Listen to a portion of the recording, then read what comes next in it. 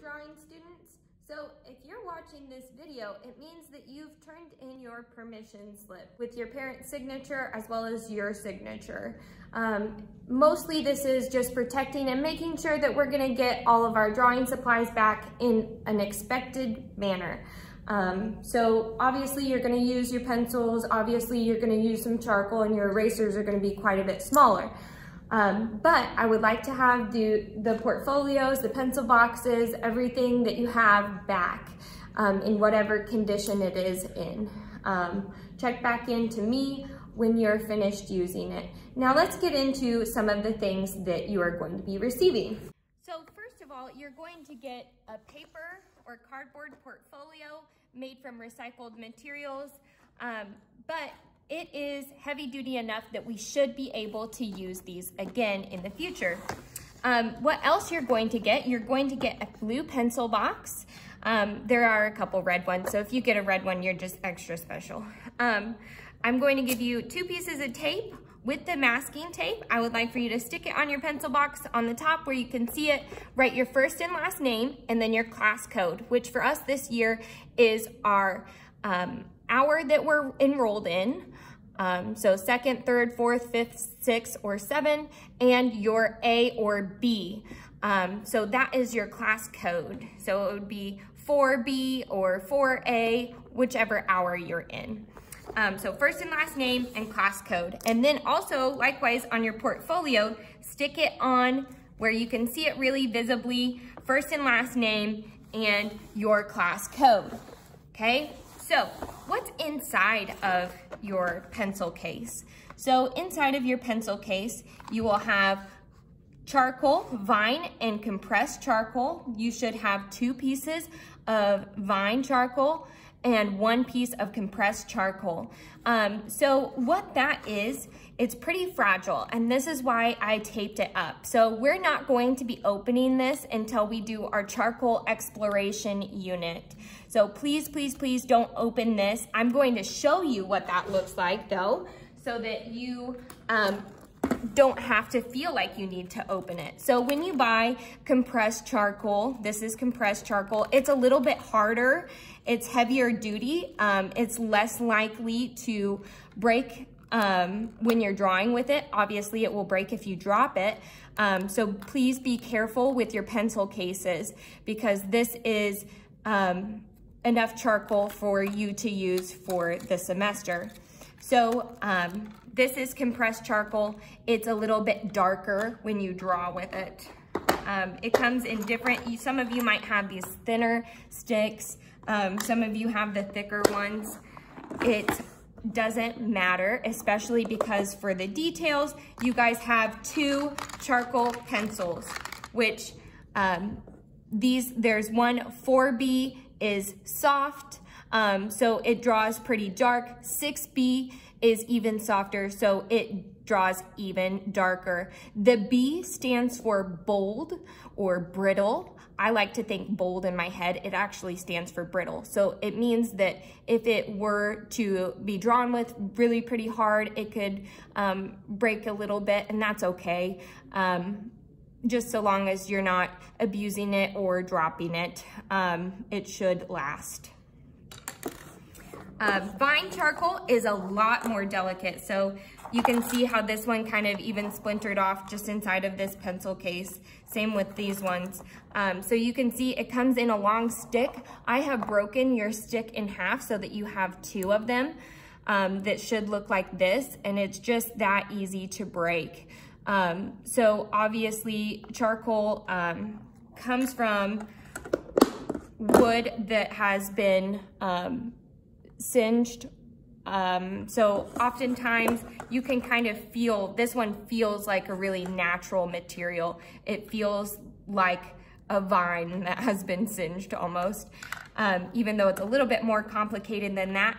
Um, that's the gist of vine charcoal. It's quite a bit lighter when you draw with it and it can be kind of powdery and make kind of a mess. So if you're using charcoal, be sure that you um, are in a place where you have something down underneath. And also look at my fingers just from touching that for just a minute. So you might even wanna have a tissue with you if you're using charcoal. What else you have in here? So you have your two charcoal uh, pencils and you have your two charcoal sticks. One of them is actually uh, one and it's been broken in half already for you. Hopefully not broken more than that. So what else you have in here? You have two kinds of erasers. Kneaded erasers are great for if you're drawing with chalk or you're drawing with charcoal and you make a mistake or would like to lift something off. Likewise, if you're using graphite, you can lift off. To rejuvenate your kneaded eraser, you can pull it apart um, again and again, and it kind of brings back the sticky, and that's what makes it erase. Instead of rubbing with it um, when it's in its ball form, um, that it would be more like lifting. So you're sticking it on and you can kind of shape it. If you need a smaller space lifted off, you stick it on and then lift it off.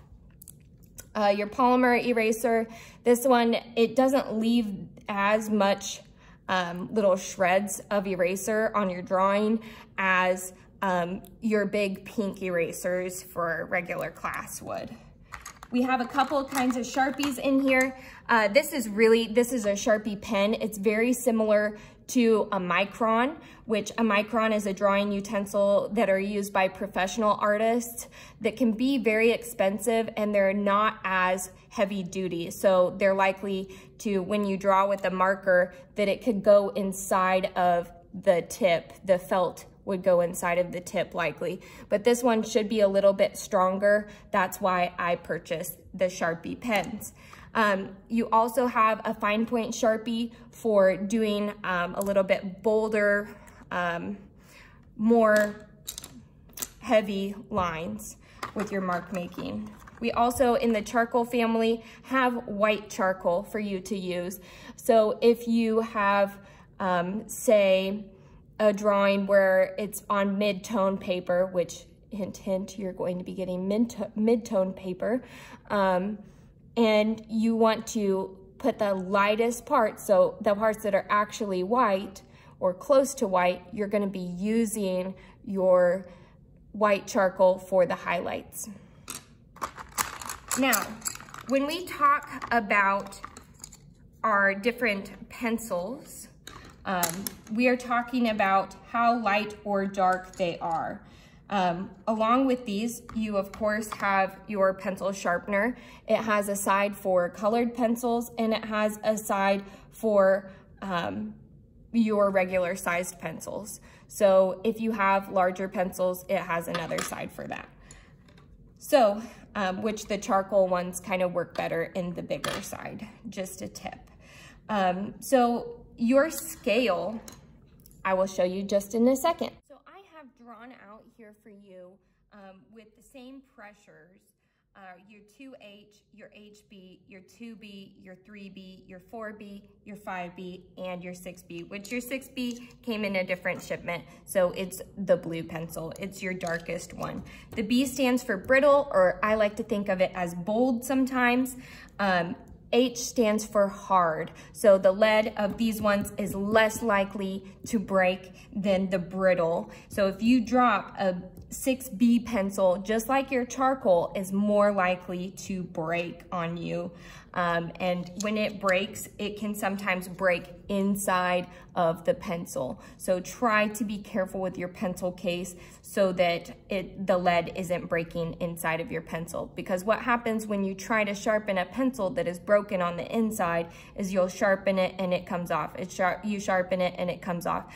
Um, so colored pencils are the same way, where they're very soft, especially when you get into more professional colored pencils, that they're more likely to break um, on the inside when they've been dropped. So if you have trouble sharpening your colored pencils, that could be why.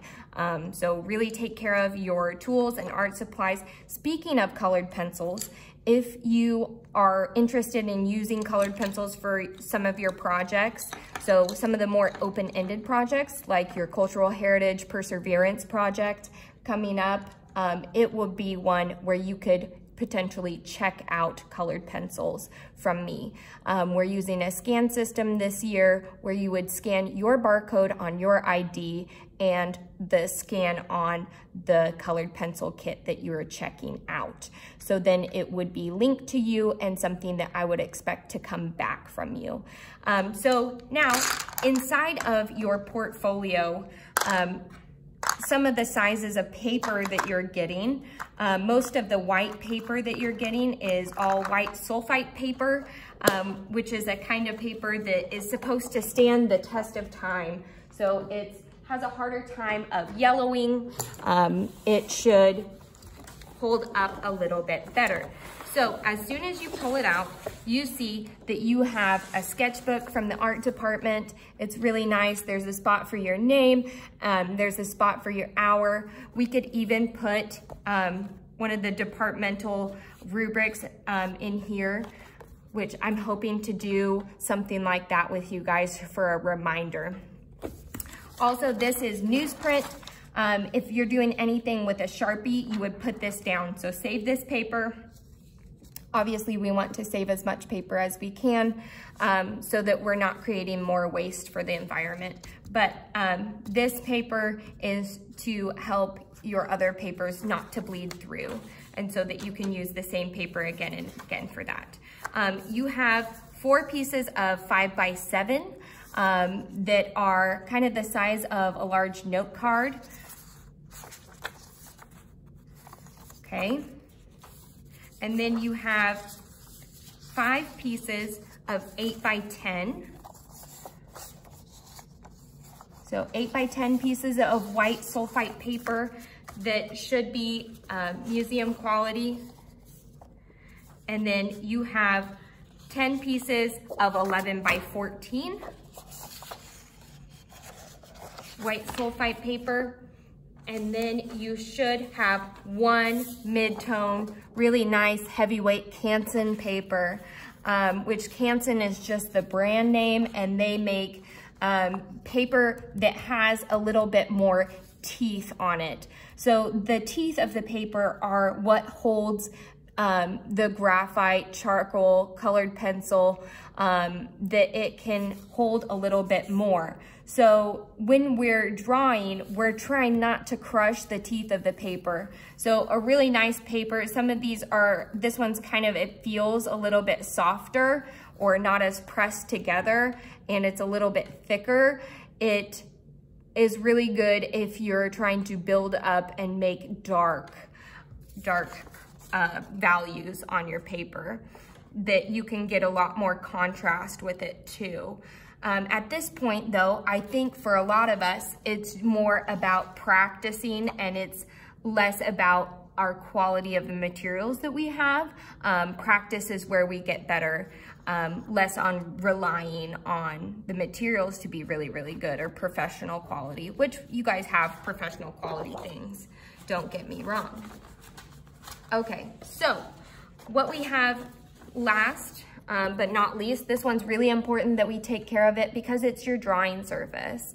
Uh, this is our drawing board. It's 11 by 14, the same size as your biggest pieces of paper. So if you don't have a flat surface that doesn't have, see if I were drawing on this table, this table has some little marks in it like somebody used an X-Acto knife and didn't have a board down underneath it. So please don't X-Acto knife on this or cut into it in any way that you want to save uh, your drawing board for drawing so that when you're drawing on this surface that you don't get little dips in it.